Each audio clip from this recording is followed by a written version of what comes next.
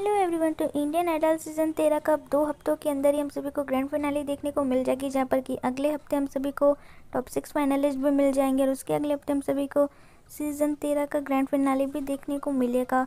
तो चलिए आज के इस वीडियो में हम लोग जानने की कोशिश करते हैं कि इंडियन आइडल सीज़न तेरह कौन जीत सकता है किनको सबसे ज़्यादा वोट्स यहाँ पे मिल सकता है पब्लिक से, जो कि यहाँ पे इंडियन आइडल सीज़न तेरह जीत सकते हैं। यहाँ पे ऋषि सिंह संज्योति दास और चिराग कोतवाल इन तीनों के बीच बहुत ही ज़्यादा कड़ी टक्कर हम सभी को देखने को मिलेगी। विदिता भी बस थोड़ा सा ही पीछे है तो इन चारों में बहुत ही ज़्यादा तगड़ी टक्कर शुरू से देखने को मिला है।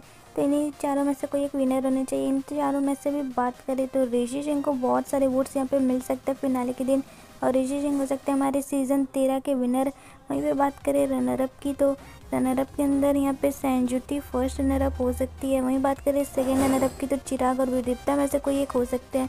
तो आपको क्या लगता है इंडियन आइडल सीज़न तेरह कौन जीत सकते हैं? साथ ही साथ टॉप थ्री के अंदर कौन कौन आ सकते हैं? यानी कि रनर अप कौन कौन हो सकते हैं? अपनी राय कमेंट करके ज़रूर बताएँ। हमारा आज की वीडियो बस यहीं तक अगर आपको ये वीडियो अच्छा लगा तो ज़रूर लाइक करें। और इसी तरह के वीडियोज़ को देखते रहने के लिए हमारे भी चैनल को ज़रूर सब्सक्राइब कर दें। โ我ร